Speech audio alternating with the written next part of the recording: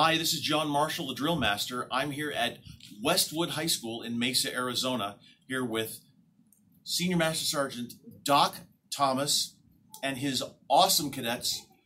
I'm here to teach drill, but while I'm here, I'm using Mil-Bar's Guide on Staff Replacement Kit. And I just found a guidon staff that is extremely loose. So these screws here are quite loose. And I'm going to take my screwdriver here. I'm going to push this out. There. Push it out a little more. Then maybe this screw will fall out. Yes, it will. Okay. so as you can see, if the screws are loose, this little, the, the screws can fall out. The little tube, the, the copper tube that's in the middle, or sorry, not copper, brass, can also fall out as well if if you do that, if it's if it's rattling especially, you've got to keep all of this tight. But if these fall out, then you're in a world of hurt.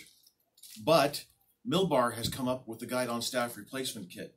Now these guidon staffs actually have two of these tubes and four of the screws. So the staff or the the re repair kit comes with everything you need for the middle screw joint and then the upper and lower ferrule. Now the upper and lower ferrule are, are, of course, they're going to be a little smaller. So you can see this tube would be actually quite quite the, the large tube there to, to put through. So there's two smaller ones and then four of the larger ones for this middle screw joint. So I'm just going to work with this middle screw joint here. I'm going to insert this back in if I can. And actually, of course, if it's video, then you can't get anything done. Live video there. All right, so there we go. It's in. Gonna tap it through just to be careful with that. There we are. Good.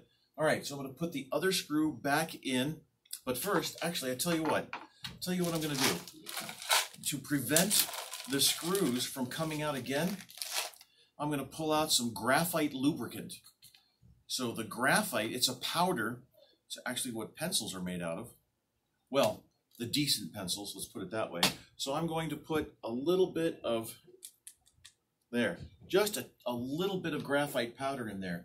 And amazingly, the graphite not only makes the screws easy to come in and out, but it also locks the screw in there. Let me see if I can get this in. Yes, I can.